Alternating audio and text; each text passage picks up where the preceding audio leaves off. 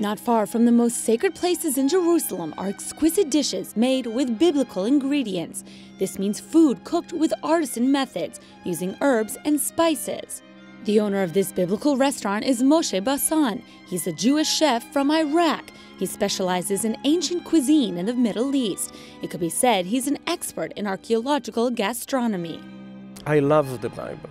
I love the Bible, so I'm finding the connections I'm taking the hyssop that in the story of the Bible, Moses commanding the Israelites when they're leaving Egypt to take a bunch of hyssop to mark the door with three points with the blood of the lamb, the sign for the angel not to kill these people. This passion for Holy Scripture is transmitted through seven species. These are seven fruits mentioned in the Bible that belong to those lands. They are wheat, barley, grapes, figs, pomegranates, olives, and dates. These are ingredients that are included in one way or another in the dishes.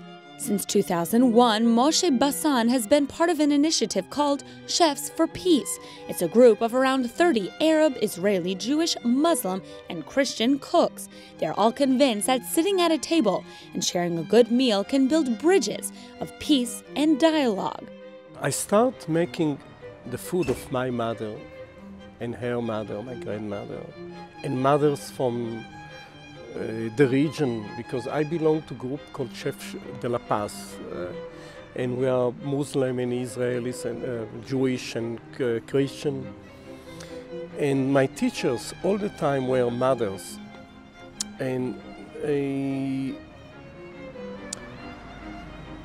these mothers making food that for me it's memories.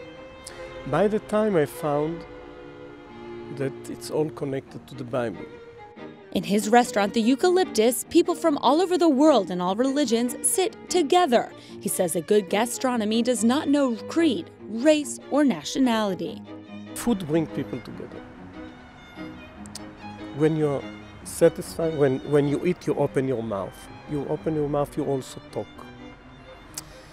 When the real, there is a separation between people, that will, there will be headness, that will be troubles and problems.